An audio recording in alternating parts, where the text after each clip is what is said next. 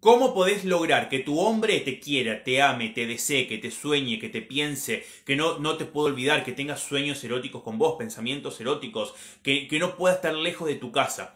Un martes o un viernes por la noche o al atardecer vas a encender con fósforos de madera tres velas rojas en las cuales hayas escrito desde la base y hacia la mecha tu nombre completo y el nombre de él. Untalas tres con aceite esencial de rosas y con un poquito de miel. Si tenés una foto o una prenda de él, colocala entre las velas, visualizalo y recita este conjuro nueve veces. Siénteme, búscame y ámame, que tus ojos no se desvíen de mí, que tus oídos no puedan dejar de escuchar mi nombre, que tus labios endulcen cuando me besas, que tus manos tiemblen si acaricias otro rostro, y que tus pies te duelan si corriendo vas a buscar a otra. Yo seré la única, y si me engañas, que este hechizo te impide respirar como si estuvieras en la horca. Deja que se consuma todo, después guarda la vela, la prenda, a, a las velas, arrojalas a la tierra, y él estará loco por vos.